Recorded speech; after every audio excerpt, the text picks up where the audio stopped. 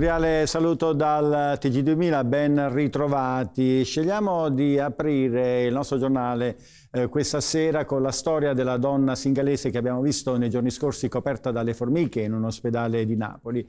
Tutti ci siamo indignati, ma ora quale destino attende questa donna gravemente malata e cosa è possibile fare per aiutarla? Sentiamo Nicola Ferrante. Resta ricoverata all'ospedale San Giovanni Bosco la donna originaria dello Sri Lanka sommersa nei giorni scorsi dalle formiche, ricoverata però in un'altra stanza, chiusa quella incriminata. Storia complicata, la donna 71 anni era in Italia da sei mesi per far visita alla figlia e dopo un bypass cardiaco le sue condizioni di salute peggiorano e entra in coma vigile.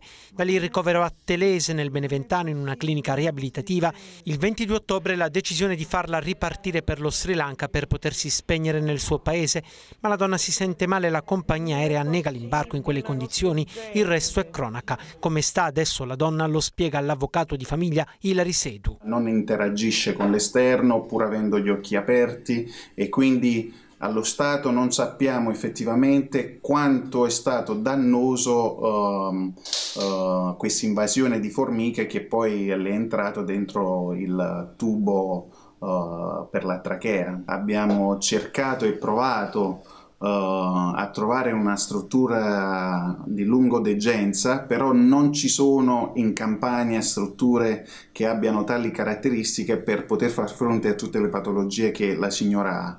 E quindi l'unica opzione che ci rimane è una clinica privata, però che ha dei costi esorbitanti che sicuramente la figlia che è una lavoratrice, una colf, una badante, non può permettersi assolutamente. Quindi il nostro appello, qualora uh, ci fosse gente uh, benevola eh, e magari affezionata a questa storia uh, di fare una donazione alla, alla, figlia. In un primo momento si era pensato a una colletta per organizzare il rimpatrio assistito con un medico accompagnatore, operazione costosa e comunque non semplice, perciò adesso la scelta più opportuna è quella che lei resti in Italia, ovviamente senza formiche. Stiamo cercando di avere una sistemazione che sia tecnicamente la migliore per la signora signora perché uh, al momento la signora non è trasportabile né si può trasportare nel suo paese di origine perché non è in condizioni di poter viaggiare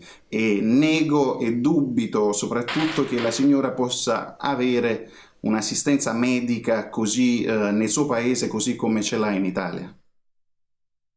Il ventiseiesimo viaggio apostolico internazionale di Papa Francesco avrà come meta il Marocco e si svolgerà dal 30 al 31 marzo 2019. Il pontefice visiterà le città di Rabat e Casablanca, 33 anni dalla storica visita di Giovanni Paolo II. Il servizio di Cristiana Caricato. Il secondo viaggio di Papa Francesco nel Nord Africa sarà in Marocco. L'annuncio è arrivato oggi tramite il portavoce della Sala Stampa Vaticana, Greg Burke. Il pontefice visiterà Casablanca e Rabat il 30 e il 31 marzo 2019. Ad invitarlo Re Mohammed VI, uno dei sovrani di fede islamica più aperto al dialogo e alla modernità, che più volte ha espresso stima per Bergoglio. Ancora pochi dettagli di un viaggio che porterà il Papa in uno degli stati a maggioranza islamica, dove i cattolici sono sono appena 27.000, percentuale irrisoria degli oltre 34 milioni di abitanti marocchini. Dopo l'Egitto, nell'aprile del 2017, con la storica visita ad Al-Azhar, centro di riferimento dell'Islam sunnita, per Francesco una nuova occasione di confronto con la variegata galassia musulmana. Una tappa importante del cammino portato avanti dal Pontificio Consiglio per il dialogo interreligioso, che insieme al nunzio Vito Rallo ha sapientemente preparato l'evento con una serie di incontri svolti svoltisi negli ultimi mesi proprio nel paese nordafricano tra imam e teologi cattolici.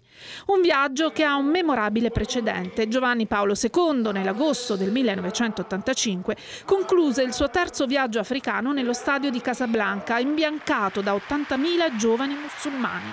Da vescovo di Roma parlò del Dio unico, il vivente, il Dio dei figli di Abramo, che chiamava cristiani e musulmani a rendere una comune testimonianza dei loro valori spirituali. Un invito al rispetto e al dialogo accolto con entusiasmo dopo secoli di violenze, pregiudizi e guerre sante. Un evento che, forte della riflessione conciliare, indicava un modello di convivenza possibile tra cristianesimo e islamismo, aprendo una stagione felice di relazioni sempre più amichevoli, culminate con l'ingresso di Giovanni Paolo II nella moschea di Damasco nel maggio del 2001.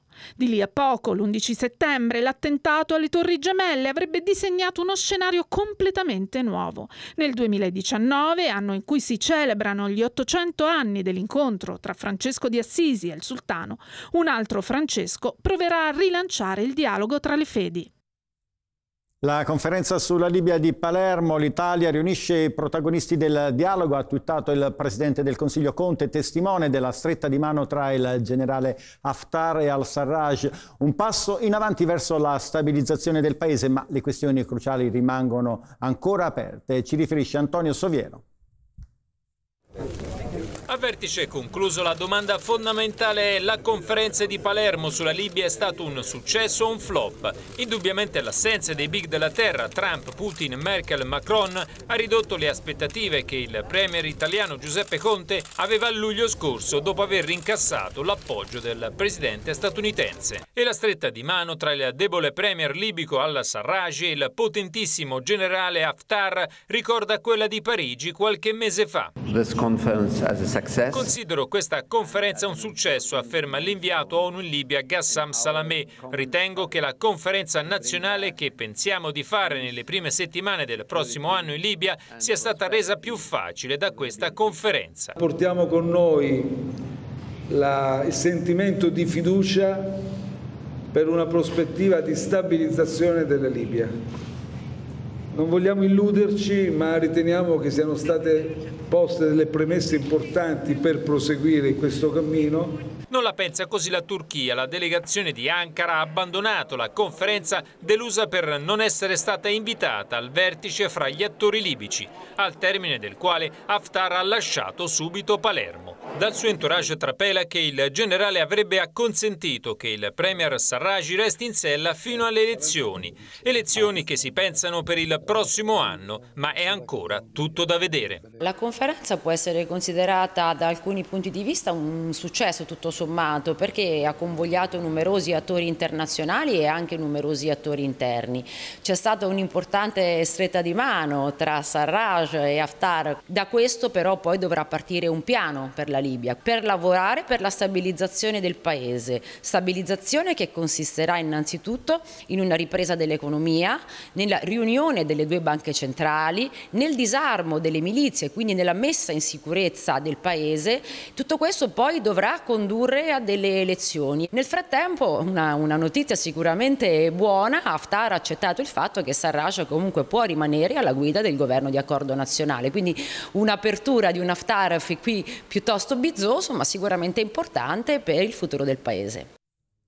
Sgomberata a Roma la tendopoli per migranti in transito allestita dai volontari del centro sociale Baobab nei pressi della stazione Tiburtina. Più di 70.000 persone sono state accolte ricevendo cure mediche, cibo ed una sistemazione per la notte che ora invece non hanno più. Beatrice Bossi. Immobili guardano da lontano le ruspe distruggere tutto. Lì sotto ci sono le loro tende diventate case e fuori ci sono le forze dell'ordine ad aspettarli per l'identificazione. Molti dei migranti ospiti del presidio umanitario del Baobab Experience infatti sono senza documenti. Si tratta dei dublinanti, migranti che intendono raggiungere altri paesi europei ma che una volta identificati in Italia non potrebbero più farlo. Lo stabilisce l'accordo di Dublino firmato dall'Italia con l'Unione dell'Unione Europea. Mohamed invece i documenti ce li ha e ce li mostra, permesso di soggiorno compreso. È somalo, ha 18 anni e da un anno viveva alle spalle della stazione Tiburtina di Roma. Stanotte dove andrei a dormire? Stasera non lo so, tutti i miei pari, tutte le mie roba, tutte le mie cose stanno dentro qua. Hanno preso tutto, ancora non c'è lo posto per dormire. Da anni questo presidio accoglie i migranti di transito, da anni viene sgomberato dalle forze dell'ordine. Oggi è la ventiduesima volta, dicono i volontari. Da qualche settimana il Campidoglio ha cominciato a ricollocare i migranti in altre strutture, ma i posti a disposizione sono finiti troppo presto e le ruspe questa mattina sono arrivate lo stesso. Avevamo chiesto alcune ricollocazioni, 65 ospiti sono stati collocati sono stati, collocati, sono stati ricollocati dal Dipartimento Sociale. A oggi però abbiamo oltre 130 persone che dormiranno in strada, noi continueremo a esserci per aiutarli. Il ministro dell'Interno Matteo Salvini in serata ha comunicato che gli sgomberi andranno avanti. Ce ne saranno altri 27 nella capitale, ma qui il clima sembra essere diverso. Abbiamo portato un po' da mangiare, guarda mi viene da piangere perché questa gente Scusate, cerco di fare di più di quello che uno può. Giornalisti in piazza in tutta Italia a difesa della libertà di stampa. Giù le mani dall'informazione, questo è il messaggio in risposta agli attacchi del Movimento 5 Stelle dopo l'assoluzione di Virginia Raggi. Sentiamo Maurizio Dischino. Giù le mani dall'informazione. Le ultime esternazioni di esponenti del governo con linguaggio violento e volgare ai danni dei giornalisti ha portato i professionisti dell'informazione a ritrovarsi oggi contemporaneamente nei 20 capoluoghi di regione. A Roma c'erano anche i vertici della categoria, dall'Ordine dei giornalisti nazionale del Lazio alla Federazione Nazionale della Stampa Italiana. Tutti in piazza per dire che gli attacchi ai giornalisti, la minaccia di cancellazione dell'Ordine dei giornalisti e l'intenzione di azzerare i fondi per l'editoria sono continui tentativi per sopprimere la libertà di informazione sancita dall'articolo 21 della Costituzione italiana. È un'iniziativa senza precedenti perché per la prima volta 20 piazze italiane si riuniscono per difendere la libertà di informazione e lo fanno non tra giornalisti che sarebbe una manifestazione di corporazione, lo fanno con decine e decine di associazioni che hanno nel cuore la Costituzione. Anche a Roma è stato ribadito il valore sociale della libertà di informazione che è il sale della democrazia democrazia, anche quando viene espresso un pensiero critico o una parola contraria. Noi riteniamo che l'informazione, come ci ha ricordato ieri il Presidente della Repubblica, sia un grande valore per la democrazia. E chi attacca l'informazione, chi attacca la stampa, chi attacca i giornalisti lo fa perché non ama il pensiero critico, vuole cancellare qualsiasi voce critica per affermare una forma di governo basata sulla propaganda. Stavolta a fare notizia non sono stati gli arbitri di calcio di Serie A, ma due di serie minori, uno a Roma picchiato selvaggiamente al termine della partita, l'altro in ciociaria, letteralmente abbandonato in campo da una squadra che lo accusava di frasi razziste. Sentiamo Federico Plotti. Questa settimana nel Lazio non si giocherà nessuna partita di calcio. Non sarà possibile visto che l'AIA ha deciso che non invierà nessun fischietto sui campi della regione. Una presa di posizione netta e precisa voluta dal presidente dell'Associazione Nazionale Arbitri Marcello Nicchi dopo l'ennesimo episodio di violenza che domenica scorsa ha visto vittima un giovane arbitro. Al termine della partita del campionato di promozione tra Virtus Olimpia e Atletico Torrenova sul campo del centro sportivo di San Basilio, alla periferia di Roma, il direttore di gara Riccardo Bernardini, 24 anni della sezione di Ciampino, è stato preso a pugni e a calci, è caduto a terra, ha sbattuto la testa ed è finito in ospedale. Gli autori dell'aggressione sono due tifosi della Virtus Olimpia che avrebbero aggredito violentemente l'arbitro mentre era negli spogliatoi perché durante la partita aveva espulso due giocatori della squadra di casa. Cose che succedono e purtroppo non di rado nel calcio dilettantistico. Le cronache sono piene di episodi simili, direttori di gara picchiati, colpiti per protesta da calciatori e tifosi casi. L'anno scorso in 300 sono finiti in ospedale. L'Associazione Italiana Arbitri non accetta e non accetterà più di mandare al massacro centinaia di ragazzi ogni anno senza che qualcuno si preoccupi di dire basta a questo fenomeno. Studieremo provvedimenti ancora più drastici per fermare questa deriva, arrivando fino all'esclusione dei club qualora dovessero emergere delle loro responsabilità, ha detto il neopresidente della FIGC Gabriele Gravina. Stessa linea per il ministro dell'Interno Matteo Salvini. Ma c'è un'altra protesta contro un arbitro che sta invece raccogliendo favori anche dal mondo del calcio. Domenica scorsa nel Frusinate, durante la partita di terza categoria tra Real Vico nel Lazio e Cosmos Strangolagalli, il direttore di gara avrebbe insultato con toni razzisti un calciatore senegalese del Real. La sua squadra, in segno di solidarietà, è uscita dal campo facendo sospendere la partita. Il telegiornale termina qui, grazie per averci seguito. Ora c'è TGTG con Donatello Vaccarelli che commenterà le notizie del giorno con il giornalista e scrittore Federico Rampini. Buona visione, un sereno proseguimento di serata, arrivederci.